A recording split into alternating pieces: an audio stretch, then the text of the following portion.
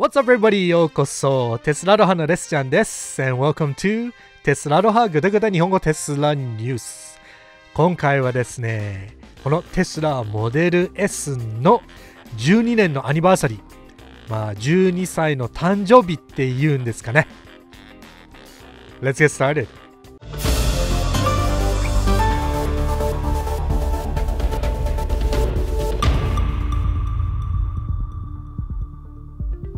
はい、まずですね、またまたこのテスラロハチャンネルのニューメンバーのご紹介です。えー、リリーチャンネル。リリーチャンネルさん、本当にありがとうございました。まあね、このメンバーシップも別にそんなに宣伝、えーまあ、メンバー紹介以外に宣伝してるわけでもないけど、みんな、あのね、自分でこのジョインボタン、メンバーシップボタンを押してくれて、あのーこうやってメンバーシップを、えージョインしてくれる？メンバーシップをジョインしてくれる、まあ、このテスラロアチャンネルのね、サポートを、えーしてくれるっていう気持ちが、あの本当に嬉しいです。まあね、あの本当にずっと長く見てる人たちは、えー何回も何回もリピートして言ってるんですけど、こんなグダグダな、あの感じでね、日本語で、まあ、あのネイティブスピーカーではないので、メインは英語なんですけど、でもこんなグダグダな日本語で、えー、とテスラのニュースとかもしてるのはね結構無理があるところだけどみんなあの応援してくれてるのがすごい嬉しいんで本当にありがとうございます。はい。それではえー、とねスタートはまずこのあのボルクスワゴンの、えーニュース、まあ、ネーミングのニュースがいろんなネットで見たと思いますけど、このボルクスワゴンから、ボルツワゴン、まあ、日本語でどうやって発音するのかわかんないけど、ボークスワーゲンから、ボーツワーゲン、まあ、ボーツボ、ボルトですね。まあ、電気のボルト。なので、ボルトワゴンかな。まあ、日本語で、うん、まあ、うまく、どうやって言うんだろうね。まあ、ボルトワゴンっていうのかな。まあ、その ネーミングなんですけど、まあ、あの、ニュースはね、あの、最近、なんかちょっとあの、プレスリリースが、本当はあの、4月29にリリースされるプレスリリースがなんかリークされたっていう、えーニュースだったんですけど、まあね、いろんなあのリークした後にホームページとか見たらちゃんとボルツワゴンとかボルトワゴンとか書いてあったりとか、はい。まあ、あの、要するに、まあこれはニュースとかになったんですけど、まあ今は、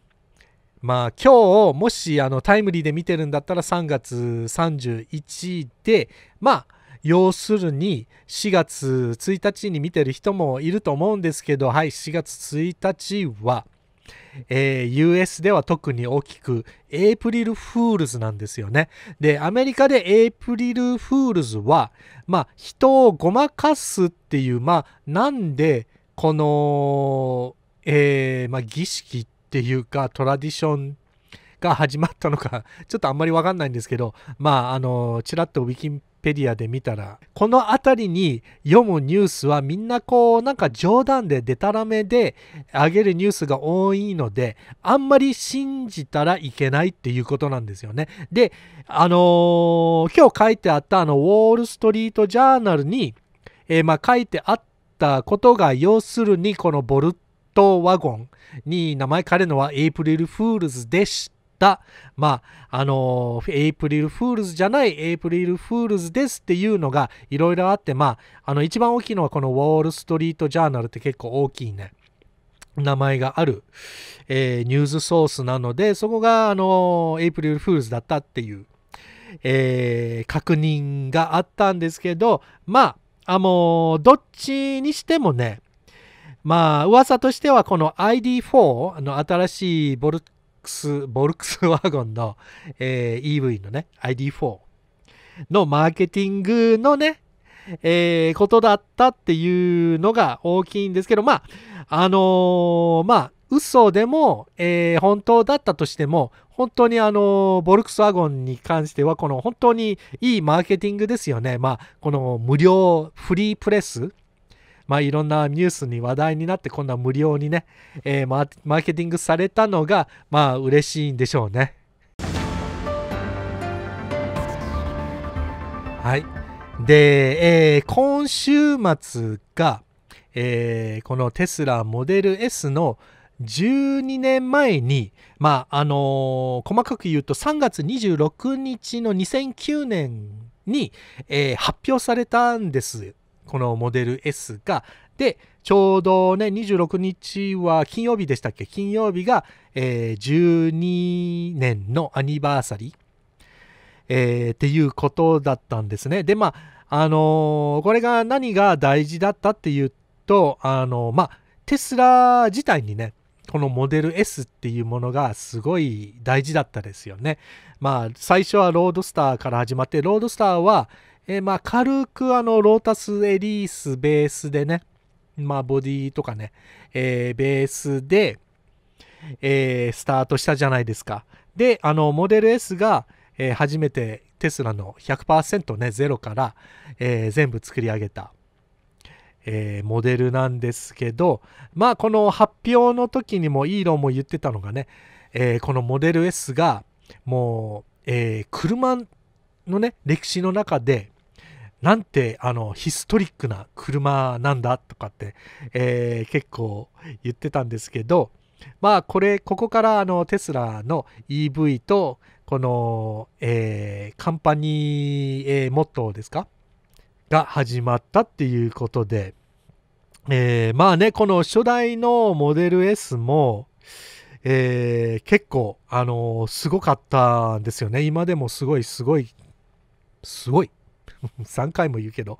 えー、すごかったんですけど、本当に12年前も、このリキッドクールされた、えー、モーターと、まあ、あのー、馬力って言うと、まあ、402馬力ぐらいだったあの EV だったってその前はねもう EV ってこんな、えー、馬力がある車なんてなかったんですよね。まああのー、このモデル S が、えー、成功しなかったらそこでまあ X であのー、で大きくモデル3につながってなかったんですけどね。なので、えテスラユーザーとして本当にモデル S はご苦労様本当にありがとうでおめでとうっていう感じな気持ちになっちゃうんですけどね。ちょっとマニアックな感じなんですけど。はい。それではちょっとね、えー、モデル S の過去からちょっと将来まあ近い、えー、将来の話につなげていきましょう。はいそれではこの新しいモデル S のリフレッシュの話で一番こう話題になってるまあ僕の中では一番話題になってるかもしれないんですけどこのスマートシフト。で、えー、このスマートシフトプラス、えー、この前にね、えー、動画をアップした、えーと、今度マニュアルシフトはどうなるのってなくなるのって。まあそれはもちろんなくならないってこれタッチパネルでねえー、シフトをするドライブとリバースを、えー、設定する、えー、機能なんですけど、えつい最近、えこの NHTSA って、えアメリカではね、え National Highway Traffic Safety Agency っていう、えグループなんですけど、まあ、あの、アメリカ国内のね、えこういう車関係の、え法律とかね、こう決めるグループっていうんですかね、こうすごい簡単に説明すると、が、あの、NHTSA からこの、え、タッチパネルのシフトが、えー、許可が下りたんで、まあ、いろんな人がね、えー、こういうシフトのシステムは、えー、ちょっとね、法律違反じゃないかなとかね、そういうふうなが言ってたけど、本当に NHTSA から、えー、アプローバルされました。で、まあ、このあのタッチパネルに関してなんですけど、まあ、本当に最初に、えー、言われてたのが、このね、ちょっとテスト機の写真を見てみると、この携帯のね、充電チャージャーのちょうど下に、ここにボタンが、えー、あるっていう最初のリークがこういう感じだったんですけど、で、このリーク写真を見たらね、ちゃんとあの、テスト機にラベルがね、貼ってあるっていうことで、あ、じゃあ、そうなのかなとか思ったけど、ちょっとね、あの、テスラのオフィシャルのね、写真とか見てみると、あるかどうかもわかんないけど、もうね、そこなんか、本当に普通に考えてみて、そんなところにあってもあんまり不便なんじゃないかなっていうのもあって、なのでここに、えー、シフトボタンもあるかどうかもわからない。でもね、あと、えー、最近確認されたのが、えっ、ー、とね、まあ、あの、アメリカだったら左運転なので、まあ、あのー、左側のね、スクリーンでタッチパネルでね、こうやってシフトできるで、あと、えー、のステアリングウィール、ステアリングウィールの一番右側のボタンでシフトもできるっっていう、え、確認が出たんですけど、ちょっとあの、テスラの、え、ステアリングウィールの写真を見てみると、あの、どこら辺のボタンなんだろうねとかってなる、なりますよね。まあ、あの最終的な S が、えー、ボタンのレイアウトが変わる可能性はもちろん高いですしもしかして、えー、このボタンあのステアリングウィールにあるスピンナーボタンを押してこう上に行ったり下に行ったりとか、えー、できるんじゃないかなとかは僕は思ってる。なのであの実際にこのあのスピンナーボタンを押すのはちょっと難しいじゃないですか。タッチパネルかな。まあね、普通に運転してる間にこうタッチパネルをね、えー、間違えて押す可能性が大きいじゃないですか。なので僕が思うのはこのスピンニングウィールのボタンをねまず押してからこうやってあの動かせる機能もあるっていうんですけどまあこのステアリングウィールでもタッチパネルにあるっていうふうに、えー、考えてたらいやちょっとこう納得できますねまあ簡単にこのギアシフトシフトレバーとかなくても全然いけるなって。で、あと、あの、このシステムはね、このモデル S と X だけじゃなくて、えー、まあもちろんロードスター、予想通りにロードスターもこういうシステムで、あとサイバートラックにもこういうシステムになるっていう、えー、情報が入ってきたんですけど、まあもちろんこのサイバートラックもね、えー、イーロンが言ってたあのサイバートラックのまあ大きいリークはドアハンドルもないっていうことなので、まあロードスターにもドアハンドルがないっていう感じが、まあ100%あのー、ね、確認がなかったんですけど、まあ、ロードスターにもないって言ってあのサイバートラックもない。で、このシフトシステムもロードスターもサイバートラックにも入ってる。で、SX っていうことは、やっぱりこの将来的に全部ね、テスラの車がこうなるんでしょうね。なので、まあ次の大きいモデル3と Y の、えー、モデルチェンジとかリフレッシュがあった時は、このスマートシフトと、えー、ドアハンドルがないっていうことになるのでしょうね。まあ、あのこういうね、ヒントも、えー、結構面白いでしょう。あの、面白いでしょう。面白いですよね。で、あの、このモデル S と X の話に戻すと、えー、結構ね、日本の発売が結構2022年になってるじゃないですか。なので、まあこの NHTSA の許可が下りたのも最近だし、えー、もしかしてこの日本にあのこの発売が来年になるっていうことはやっぱり日本のいろんな法律とかね僕はあんまり詳しくないんですけどこのね許可が